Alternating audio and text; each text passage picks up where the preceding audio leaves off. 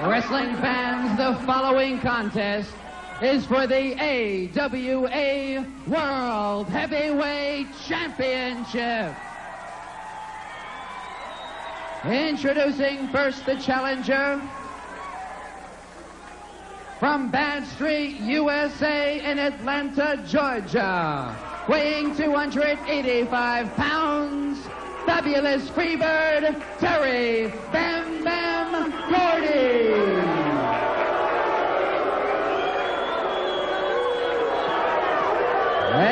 gentlemen, accompanying Terry Bam Bam Gordy are fabulous freebirds Michael Hayes and Buddy Roberts. And ladies and gentlemen, hailing from Quebec City, Quebec, weighing 235 pounds, he is the AWA World Heavyweight Champion, Rick Martel. Now, ladies and gentlemen, this is a championship match. Referee Dick Woehrle. Down to Doug McLeod. All right, Gary, and here we go, Nick Bockwinkel. This is the one that uh, we've all been waiting for, and what a matchup this is. Talk about different styles, different types of wrestlers. There's the heavyweight champion of the world, Rick Martel, as you know so well, the responsibilities that go with the wearing of that belt. And here's the biggest man from the baddest group in the tag team world, the one and only fabulous Freebirds, Terry Bam Bam Gordy. Well, it looks like the referee, Doug, is going to, I think, chase the other two Freebirds Oh. out of the arena. How about this now? Dick Woehrle, who books absolutely no nonsense, one of the toughest referees in the business. Look at this. He's he, Well- may, he may not start this. Look at this. Many, many people in the country know that there have been problems between the Freebirds, Michael Hayes, and the world's heavyweight champion. Oh yeah. And uh, they don't want to take the chance. Woehrle as much as said, I'm going to just give the title He went over. to Martel. I'll give him Right. the match. And he would, of course, keep the title. He went over and raised Rick Martel's hand and said to Michael Hayes and Buddy Roberts, "Is this what you want?" And they immediately took off because they certainly don't want to jeopardize their partner Terry Gordy's chances at this big title shot. Now off the ropes, Gordy. Oops, sunset down goes Martel, and he got a quick two count. Beautiful move, a big slam. Oh, look at Martel. Oops, oops, look at that. That didn't pan out at all. A backfire as Terry Gordy, who can wrestle.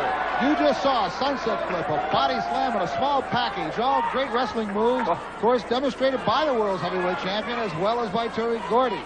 I have a tendency to be prejudiced in this respect because for eight and a half years, that title being mine, I have definite feelings about it. Look at that. A nice escape by Gordy and into a hammerlock onto Rick Martel. Let me ask you something. You've had the belt. You're a top contender to get the belt again. Who would you rather step in the ring against? Well, right now, I guess I'd have to say I'd want it to be Martel because he's the one who's had it. But of course, he's looking awfully good. Oh, look at that! Off the ropes and Ricky Martel wrestling like a true world's champion.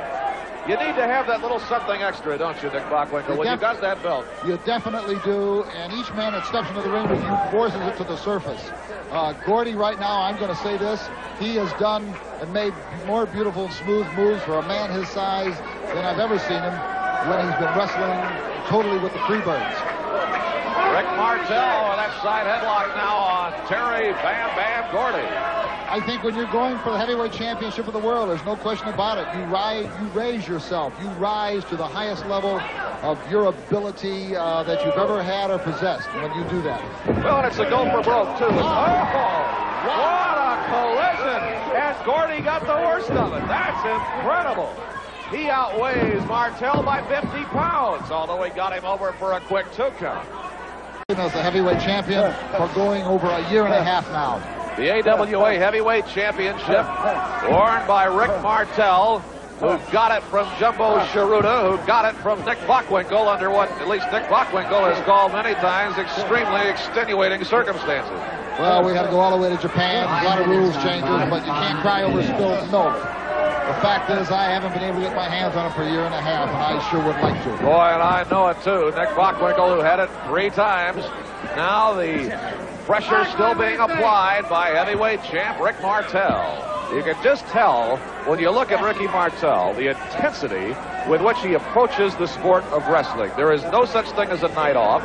It was like that before he was the heavyweight champion. It's not just since he's become the champ, but that I think is one of the things that got him the championship belt. Well, I got to say this, Doug, even more so. Once you become the champion, uh, the champion, the intensity builds to such a peak every time you step in the ring, you're going in against some of the greatest challenges. Look at this. Look at this. Gordy finally just muscled his way up, and Martel got the head scissors back on. Well, Terry Gordy just tried solid strength and force to get out of that one, Nick, and he had it for a minute. Martel not to be denied, grinding, punishing Gordy with that head scissors. Many people ask, right here what's happening is in athletics, where the head goes, the body goes. And if you can squeeze the blood out of the head, if you can put the head in pain, then actually it forgets about the rest of the body. And so this is one of the advantages to the head scissors. You create, you might say, Excedrin headache 999, and actually Gordy's having to really struggle. He's trying the same thing again. Last time Martel nailed him with the head scissors when he did this. This time, we'll see what happens. Terry Gordy trying to power out of it. Oh, and he's got Martel pinned. Look at that! And a headlock. Oh, the great headlock. Now, oops, a quick turnaround the other way and a two count on Martel. And these two big men with a tremendous battle for the heavyweight championship of the world. We have seen it all and more to come, I suspect, as these two tough, tough wrestlers go at it. Well, you've got to understand that you have the wisdom of three people in Terry Gordy because you have Buddy Roberts and Michael Hayes who have been able to feed him much knowledge and respects to the champion.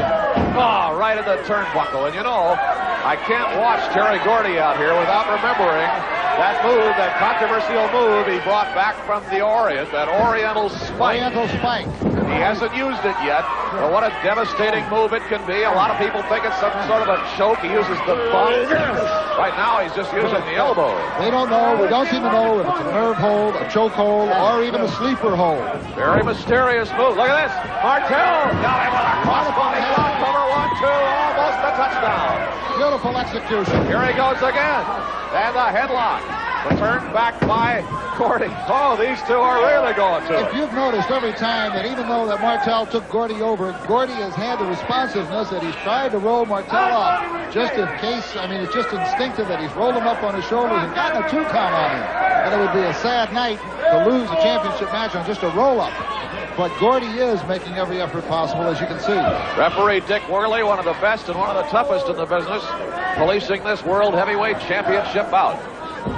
Let me ask you, does the considerable bulk advantage to Gordy give him an advantage when both men are down on the mat? Yes, it does, especially because Gordy is not only big and rugged and vicious and mean, but he also has tremendous wrestling ability. Look at that. He too. You've spoken, but look at this. Martel turns it around in a two count. Oh. What a match. What a heavyweight war. Gordy was going to go up onto that second rope and his foot slipped. Had he gotten his oh. weight up onto that second rope and come off on Martel, the same as Martel had done to him earlier, he very easily could have defeated Martel right then and there. It was a lucky break for Martel that Gordy's foot did slip.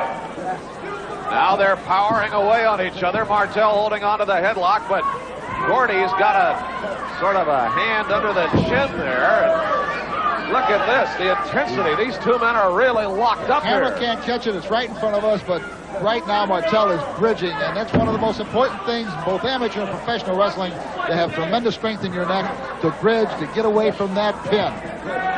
Keep those shoulders. You got to have at least one of them up, and if you can do that, you can stay away from trouble. He grabbed those trunks and he sank a big knee right into the bill basket. Referee did not see it. Terry Gordy now turned Martel off the ropes. Oh, what a block. That's 320 pounds up in the air at least. You consider the inertia once he gets it going, it's got to have a force even more than that. Both these men are starting to drag. It's, they've been setting a tremendous pace. I can't believe it. Full throttle 100% since the start, and that's what makes it a world's heavyweight championship. Rick Martel, a fiery French Canadian from Quebec City, Quebec. And the entire PQ up in arms about Rick Martel. I'll tell you, I think he's popular down here. Now Martel applying the pressure. You heard referee Dick Woehrle asking if Gordy will submit, but you better believe not. This is a championship match. Now still the pressure applied by Martel.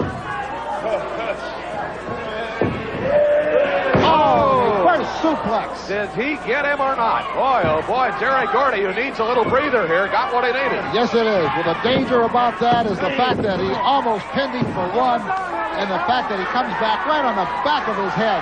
It's as, it's as good as a Sunday punch on the jaw. Martel now. Look out, setting up the suplex. Whoa, and a lightning fast one. Gordy's suplex has probably got higher velocity. He doesn't go as high, but the velocity of that suplex is damaging. It just pulls the backbone into pieces. There's a great mat level view, and you saw how Martel just shot out from under Terry Gordy. Now again, Gordy's- Breaker will see. Oh, Gordy is really taking it to Martel right now. We could see a championship change here unless Martel can come out from under this. Martel is, this is, uh, oh, now Gordy, the chin of the head.